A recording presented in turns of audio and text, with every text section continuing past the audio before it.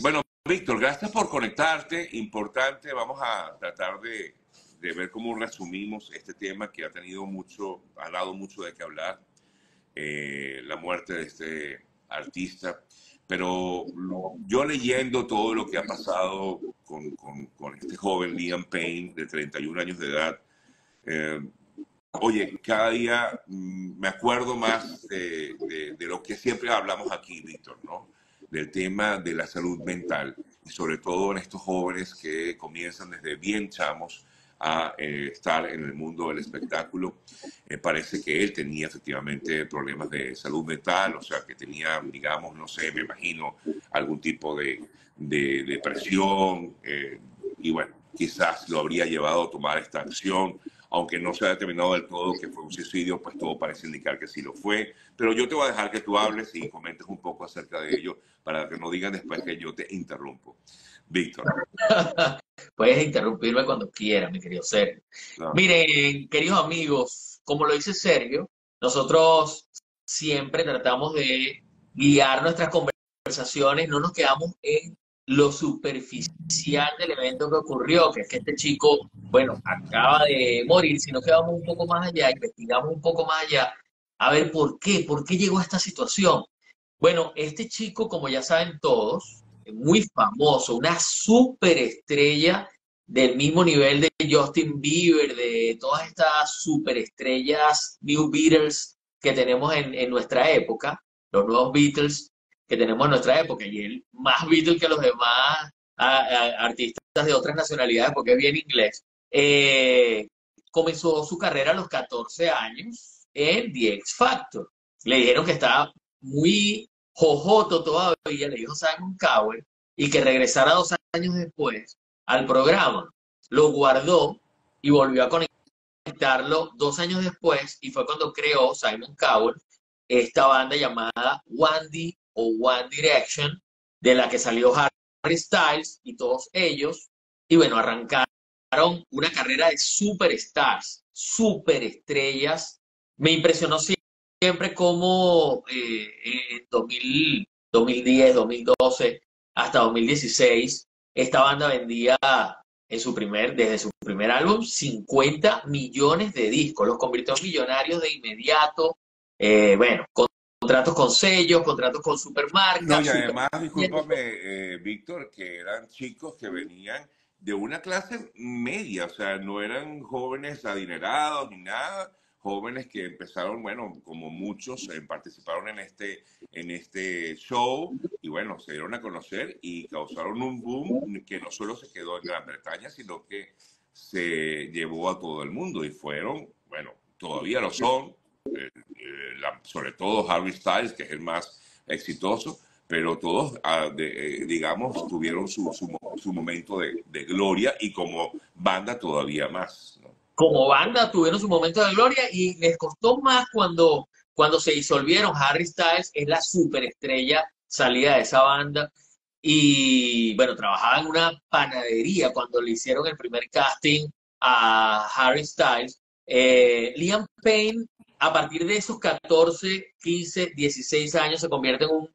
prácticamente, vamos a decirle, no niño, pero sí un adolescente que se conecta con, este, con esta fama tan abrumadora y es quien desde hace muchos años viene diciendo, me conecté con el mundo de las drogas, me conecté con el mundo del alcohol, porque a veces cuando viajas y estás en estos conciertos, eh, no puedes salir del hotel, no puedes andar por ahí caminando, ir a la farmacia, etcétera, etcétera, pero te quedas en el hotel y el minibar siempre está ahí. Entonces allí fue cuando se conectó con el mundo del alcohol, luego con el mundo de las drogas más fuertes, y bueno, lo vemos que termina en, en estas condiciones. Otra de las características, Sergio, de estos cantantes superestrellas y estas estrellas de Hollywood de las que siempre hablamos, que se rodean de gente que se acerca a ellos, gente bien superficial, mujeres, hombres, que se acercan a ellos por lo que son, es decir, por, lo, por, por su parte exterior. Por eso se acercan a ellos, por su fortuna, porque son famosos, porque son modelos, en el caso de Liam Payne, modelo Hugo Boss, entre otras marcas. entonces él tuvo a estas, a estas parejas, una de ellas, con una de ellas tuvo un bebé, un hijo llamado Bear, eh, eh, y esta chica... Bueno, ella, ella fue, tengo entendido que incluso fue juez de uno de los eh, shows sí, de, también, del mismo Factor, exactamente. Sí. Se conocieron cuando él era un, un, un, un puerto y ella, un muchachito, y ella tenía más de 20, creo que 24 años en, esa, en ese momento, tuvieron a este hijo y eh, bueno, luego se separaron. Eh, fue una de las, parejas que tuvo, tuvo muchas parejas, entre otras, Kate Cassidy, que es la chica que aparece en los últimos videos con él y que salió de Argentina dos días antes, grabó un video de TikTok diciendo, nosotros fuimos por cinco días eh, y nos quedamos dos semanas y ya yo me quería venir, pero ves que cuando él, ella sale del hotel, por supuesto que este joven que está conectado con el mundo de las drogas, que está conectado con el mundo del alcohol, está en unas condiciones en las que termina rompiendo toda la habitación y desmayado prácticamente antes de que lo subieran al, tercer piso del hotel, desmayado en el lobby, por eso lo suben. Él estaba súper molesto porque lo habían subido a, a, la habitación, lo habían sacado del lobby porque estaba tirado ahí eh, en el lobby. Eh, en, esas condiciones, totalmente drogado, y ella no le avisa a nadie que este hombre está en esas condiciones y que lo dejó en Argentina. Simplemente hace un video de TikTok porque ella es influencer, diciendo, no, yo me tenía que venir y me vine porque yo no puedo soportar estar eh, más de mucho tiempo en un sitio, vamos Suramérica, pero cuando teníamos ya dos semanas allí, dije, chao, me voy. Nunca dijo, mira, ese tipo ni siquiera fuera de cámara está súper mal allá, ya lo dejé, llámenlo, contáctenlo, sáquenlo de ahí. Por eso digo que se, e, esta gente se junta siempre con personas superficiales que no terminan ayudándolos a salir del súper oscuro hueco en el que se encuentran. Y otra de las parejas, llamada Maya Smith, o Maya Henry, perdón, Maya Henry, eh, quien fue su pareja hasta el 2019, escribió un libro llamado Looking Forward, en el que es un libro supuestamente de ficción, pero donde trata la relación de los dos, y ella en un video de TikTok también, que es súper viral, denunció que él la trataba de contactar por todos los medios, que habría diferentes cuentas, que la llamaba desde eh, los teléfonos de los abogados. que la acosaba, pues. La, la acosaba, la acosaba, eh, y que ella no, no quería saber nada de él, porque ella lo que quería era, por supuesto, el lanzamiento del libro en el que dice que él la abusaba física y eh, eh, emocionalmente, y también dijo que la obligó a abortar en ese libro. Por supuesto que él no estaba de acuerdo con que el libro saliera, pero si tú te pones a ver, ella lo es como un acoso, pero también eso, si lo analizamos de otro punto de vista, este muchacho se cansó de llamar y de hacer y de decirle a la gente que necesitaba ayuda. Que ella publicara el libro. Sí, claro, por un lado, pero por el otro lado es un tipo que está pidiendo ayuda a gritos y nadie se da cuenta. O sea, está allí delante de todo el mundo diciendo, estoy en medio de un espiral autodestructivo desde hace muchos años y estoy en mi peor momento ahora y a mí nadie me está ayudando. ¿sabes? Entonces, si lo analizamos bien. Entonces, otra de las cosas, cuando nosotros a veces hablamos de suicidio, en el caso de Aaron Carter, que la gente dice, no, hay que investigar, seguramente lo mataron. Ellos saben, una persona que está eh, en el mundo de las drogas hace tanto tiempo, sabe que cuando consume ciertas cantidades, Matthew Perry es otro de los ejemplos, están a punto de un eh, colapso te, quería preguntar, Víctor, precisamente un poco para, para, ir con, digamos, con lo preciso. O sea, no se puede asegurar que fue un suicidio como tal, pero el haber ingerido cierta cantidad de drogas pudo haberlo llevado a tomar esta decisión o quizás accidentalmente haber caído de donde cayó. Bueno, seríamos muy inocentes si pensamos que accidentalmente eh, el hombre se, resbaló y, de repente cayó desde el balcón, cuando escuchamos la llamada del 911 del encargado del hotel diciendo, por favor, yo necesito que vengan urgentemente porque tengo un huésped aquí que está drogado eh, y está tomando, consumiendo también alcohol, se nos desmayó en el lobby, lo subimos hasta el tercer piso y esa habitación tiene balcón, él está rompiendo todas las cosas dentro del, parece que está fuera de sí, rompiendo el televisor, rompiendo todas las cosas, se escuchan los gritos y todo lo que está haciendo y podría atentar en contra de su vida. Lo dice el encargado en la llamada 911. La publiqué ayer, ahí en mi cuenta arroba Victoria que es original. Pueden ver algunas imágenes de Liam Payne y también escuchar al encargado hablar con la operadora del 911 cuando él le confiesa, le dice al final, tememos que atente contra su vida. Se tardaron siete minutos en llegar y ya estaba en el, ya se había caído a 15 metros de altura, 14 metros de altura.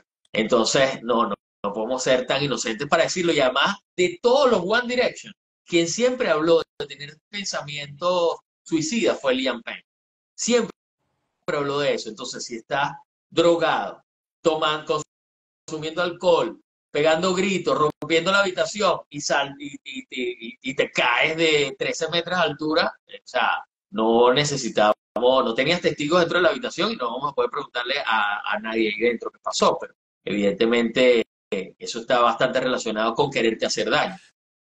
Claro, eh, efectivamente, aquí alguien comenta y, lo entiendo porque lo he escuchado en otras ocasiones, a veces quizás el tipo de droga que habría consumido, que creo que por favor, por ahora está tratando de determinar qué drogas consumió, porque había varios restos de varias drogas en, en la habitación. Varios restos de varias drogas. Una persona que consume drogas sabe que está jugando por la muerte en ese instante. Exactamente, o sea, al final estás consumiendo varias drogas es porque estás buscando algo, ¿no? No precisamente liberarte, sino como que, sí. Eh, que alguien comentaba que el, llevarlo o la, el, esa persona consumía varias drogas y llegó a pensar bueno, yo quiero volar como Superman y claro, en tu mundo volaste, pero la realidad fue otra. En tu mundo volaste, la realidad fue otra. La semana pasada dije y vi la película Smile 2 hace tres días, se estrena hoy. Y fíjense, si ustedes le sacan la parte de fantasía de la que gente sonriendo y todo eso, y analizan esto como una celebridad que estuvo conectada con el mundo de las drogas y los analgésicos, ¿verdad? que trata de manejar su estrés postraumático, no confía en su madre, que es su manager, se deja llevar, confía más en su dealer, en su drug dealer, que en su mamá y en la gente que la tiene, comienza a verlos como unos enemigos. Bueno, vean la película y analícenlo desde el punto de vista de una celebridad que no se puede salvar a sí misma, no puede salvarte, ni, ni tu entorno te va a ayudar tampoco. O sea, tu entorno que no sea el que de verdad te ama. Si tú comienzas a verlo como enemigo, terminas como Liam Payne. Su familia, su mamá confesó o dijo... O sea, que a ti no te cabe la menor duda de que Liam se suicidó. Claro, a mí no me cabe la menor duda de que, de que eso es un suicidio y tampoco me cabe la menor duda de que Maya Henry y Kate Cassidy no es que son culpables de lo que le ocurrió, sino que son unas influencers que se acercaron a él por la fama de él y que no terminaron ayudándolo en nada, sino quizás contribuyendo a lo que le ocurrió, no ayudándolo, contribuye, dejándolo solo en el hotel dos días antes, sabiendo que está tan mal, contribuye a que él termine de hacer lo que está haciendo. Y la otra, yendo hasta el final con tu, con tu publicación de tu libro, aprovechándote de la fama de él, porque tú no, tiene ningún tipo de fama, si no, si no hubieras tenido la relación con él, pues también colaboras con, con este tipo de decisiones desgraciadas que toman ciertas estrellas las que admiramos tanto y que creemos que lo tienen todo. Lo hemos analizado millones de veces. Mansiones, millones, dólares, fama, pero al final él mismo lo decía. ¿Cuál era la soledad con que, con qué trataba de, ¿sabes? De, de, salir de ella? Bueno, ahogándose en, el minibar con el alcohol y con las drogas. Claro, exactamente. Bueno, Víctor, gracias por conectarte. Importante, vamos a tratar de, ver cómo resumimos este tema que ha tenido mucho, ha dado mucho de qué hablar. eh, la muerte de este artista, pero yo leyendo todo lo que ha pasado con, con, este joven Liam Payne de 31 años de edad, eh, oye, cada día mm, me acuerdo más de, de, lo que siempre hablamos aquí, Víctor, ¿no? Del tema de la salud mental y sobre todo en estos jóvenes que comienzan desde bien chamos a eh, estar en el mundo del espectáculo. me parece que él tenía efectivamente problemas de salud mental, o sea, que tenía, digamos, no sé, me imagino, algún tipo de, de depresión, eh, y bueno, quizás lo habría llevado a tomar esta acción, aunque no se ha determinado del todo que fue un suicidio, pues todo parece indicar que sí lo fue. Pero yo te voy a dejar que tú hables y comentes un poco acerca de ello para que no digan después que yo te interrumpo. Víctor. Puedes interrumpirme cuando quieras, mi querido Sergio. Miren, queridos amigos, como lo dice Sergio, nosotros siempre tratamos de guiar nuestras conversaciones, no nos quedamos en lo superficial del evento que ocurrió, que es que este chico, bueno, acaba de morir, sino que vamos un poco más allá, investigamos un poco más allá, a ver por qué, por qué llegó a esta situación. Bueno, este chico, como ya saben todos, muy famoso, una superestrella del mismo nivel de Justin Bieber, de todas estas superestrellas New Beatles que tenemos en, nuestra época, los nuevos Beatles que tenemos en nuestra época, y él más Beatles que los demás artistas de otras nacionalidades, porque es bien inglés, eh, comenzó su carrera a los 14 años en The X Factor. Le dijeron que estaba muy Jojoto todavía le dijo Simon Cowell y que regresara dos años después al programa. Lo guardó y volvió a conectarlo dos años después y fue cuando creó Simon Cowell esta banda llamada One o One Direction, de la que salió Harry Styles y todos ellos. Y bueno, arrancaron una carrera de superstars, superestrellas. Me impresionó siempre como eh, en 2010, 2012 hasta 2016, esta banda vendía en su primer, desde su primer álbum 50 millones de discos, los convirtió en millonarios de inmediato, eh, bueno, contratos con sellos, contratos con supermarcas. No, y además, discúlpame, eh, Víctor, que eran chicos que venían de una clase media, o sea, no eran jóvenes adinerados ni nada, jóvenes que empezaron, bueno, como muchos eh, participaron en este, en este show y bueno, se dieron a conocer y causaron un boom que no solo se quedó en Gran Bretaña, sino que se llevó a todo el mundo y fueron, bueno, todavía lo son, eh, eh, sobre todo Harry Styles, que es el más exitoso, pero todos, ah, digamos, tuvieron su, su, momento de, de, gloria y como banda todavía más. Como banda tuvieron su momento de gloria y les costó más cuando, cuando se disolvieron. Harry Styles es la superestrella salida de esa banda y bueno, trabajaba en una panadería cuando le hicieron el primer casting a Harry Styles. Eh, Liam Payne, a partir de esos 14, 15, 16 años, se convierte en un prácticamente, vamos a decirle, no niño, pero sí un adolescente que se conecta con este, con esta fama tan abrumadora y es quien desde hace muchos años viene diciendo, me conecté con el mundo de las drogas, me conecté con el mundo del alcohol, porque a veces cuando viajas y estás en estos conciertos, eh, no puedes salir del hotel, no puedes andar por ahí caminando, ir a la farmacia, etcétera, etcétera, pero te quedas en el hotel y el minibar siempre está ahí. Entonces allí fue cuando se conectó con el mundo del alcohol, luego con el mundo de las drogas más fuertes, y bueno, lo vemos que termina en, en estas condiciones.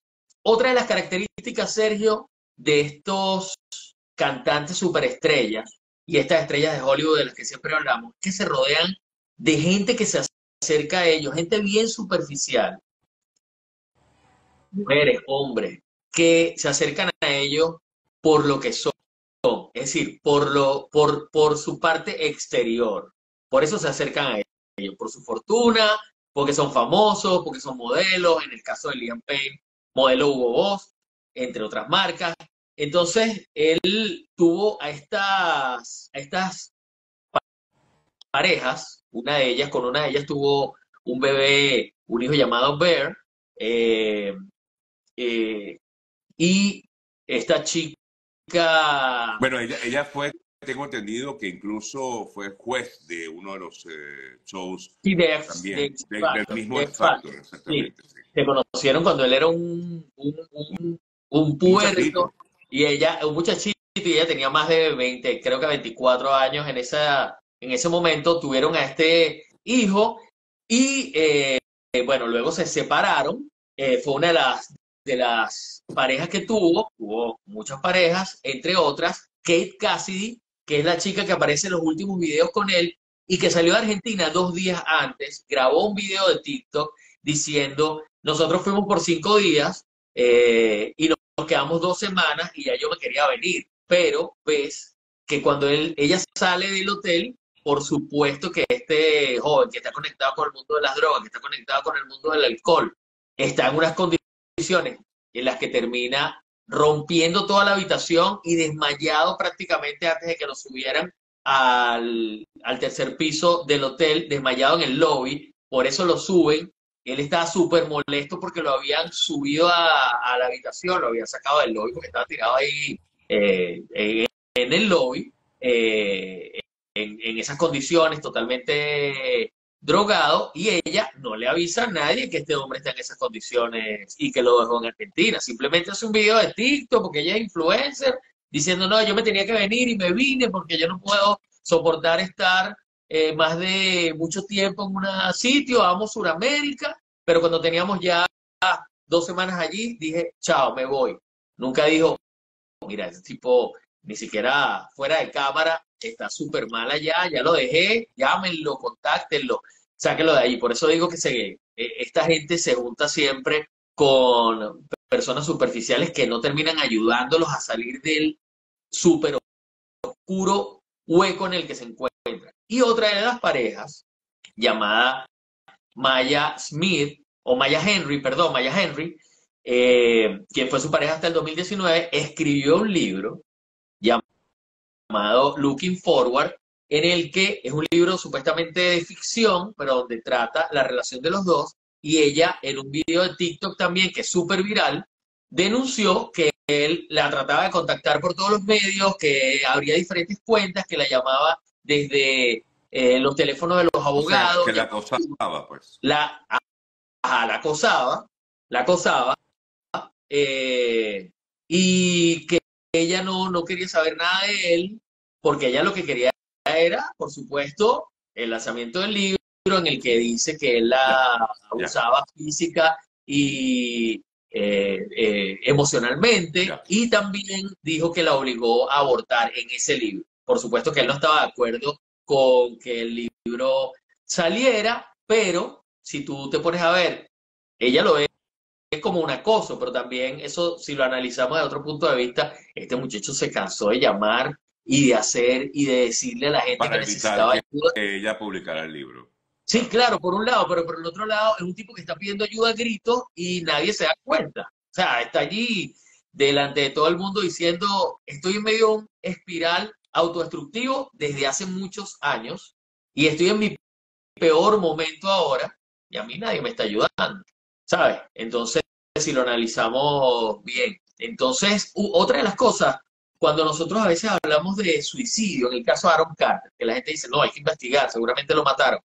Ellos saben, una persona que está eh, en el mundo de las drogas hace tanto tiempo, sabe que cuando consume ciertas cantidades, Matthew Perry es otro de los ejemplos, están a punto de un eh, colapso te, quería preguntar, Víctor, precisamente un poco para, para, ir con, digamos, con lo preciso. O sea, no se puede asegurar que fue un suicidio como tal, pero el haber ingerido cierta cantidad de drogas pudo haberlo llevado a tomar esta decisión o quizás accidentalmente haber caído de donde cayó. Bueno, seríamos muy inocentes si pensamos que accidentalmente eh, el hombre se, resbaló y, de repente cayó desde el balcón cuando escuchamos la llamada del 911 del encargado del hotel diciendo, por favor, yo necesito que vengan urgentemente porque tengo un huésped aquí que está drogado, eh, y está tomando, consumiendo también alcohol, se nos desmayó en el lobby, lo subimos hasta el tercer piso y esa habitación tiene balcón, él está rompiendo todas las cosas dentro del, parece que está fuera de sí, rompiendo el televisor, rompiendo todas las cosas, se escuchan los gritos y todo lo que está haciendo y podría atentar en contra de su vida. Lo dice el encargado en la llamada 911. La publiqué ayer, ahí en mi cuenta arroba Victoria que es original. Pueden ver algunas imágenes de Liam Payne y también escuchar al encargado hablar con la operadora del 911 cuando él le confiesa, le dice al final, tememos que atente contra su vida. Se tardaron siete minutos en llegar y ya estaba en el, ya se había caído a 15 metros de altura, 14 metros de altura. Entonces, no, no, no podemos ser tan inocentes para decirlo. Y además, de todos los One Direction, quien siempre habló de tener pensamiento suicida fue Liam Payne. Siempre habló de eso. Entonces, si está drogado, tomando, consumiendo alcohol, pegando gritos, rompiendo la habitación y, sal, y, y, te caes de 13 metros de altura, o sea, no necesitábamos, no tenías testigos dentro de la habitación y no vamos a poder preguntarle a, nadie ahí dentro qué pasó, pero evidentemente eh, eso está bastante relacionado con quererte hacer daño. Claro, eh, efectivamente, aquí alguien comenta y, lo entiendo porque lo he escuchado en otras ocasiones, a veces quizás el tipo de droga que habría consumido, que creo que por favor, por ahora está tratando de determinar qué drogas consumió, porque había varios restos de varias drogas en, la habitación. Varios eh, restos de varias drogas. Una persona que consume drogas sabe que está jugando por la muerte en ese instante. Exactamente, o sea, al final estás consumiendo varias drogas es porque estás buscando algo, ¿no? No precisamente liberarte, sino como que Sí, eh, que alguien comentaba que el, llevarlo o la, esa persona consumía varias drogas y llegó a pensar, bueno, yo quiero volar como Superman y claro, en tu mundo volaste, pero la realidad fue otra. En tu mundo volaste, la realidad fue otra. La semana pasada dije y vi la película Smile 2 hace tres días, se estrena hoy y fíjense, si ustedes le sacan la parte de fantasía de la que gente sonriendo y todo eso, y analizan esto como una celebridad que estuvo conectada con el mundo de las drogas y los analgésicos, ¿verdad? Que trata de manejar su estrés postraumático, no confía en su madre, que es su manager, se deja llevar, confía más en su dealer, en su drug dealer, que en su mamá y en la gente que la tiene comienza a verlos como unos enemigos, bueno, vean la película y analícenlo desde el punto de vista de una celebridad que no se puede salvar a sí misma, no puede salvarse, ni, ni tu entorno te va a ayudar tampoco. O sea, tu entorno que no sea el que de verdad te ama. Si tú comienzas a verlos como enemigos, terminas como Liam Payne. Su familia, su mamá confesó o dijo... O sea, que a ti no te cabe la menor duda de que Liam se suicidó. Claro, a mí no me cabe la menor duda de que, de que eso es un suicidio y tampoco me cabe la menor duda de que Maya Henry y Kate Cassidy no es que son culpables de lo que le ocurrió, sino que son unas influencers que se acercaron a él por la fama de él y que no terminaron ayudándolo en nada, sino quizás contribuyendo a lo que le ocurrió, no ayudándolo, contribuye, dejándolo solo en el hotel dos días antes, sabiendo que está tan mal, contribuye a que él termine de hacer lo que está haciendo. Y la otra, yendo hasta el final con tu, con tu publicación de tu libro, aprovechándote de la fama de él, porque tú no tienes ningún tipo de fama, si no, si no hubieras tenido la relación con él, pues también colaboras con, con este tipo de decisiones desgraciadas que toman ciertas estrellas las que admiramos tanto y que creemos que lo tienen todo. Lo hemos analizado millones de veces. Mansiones, millones, dólares, fama, pero al final él mismo lo decía. ¿Cuál era la soledad con que, con que trataba de, ¿sabes? De, de, salir de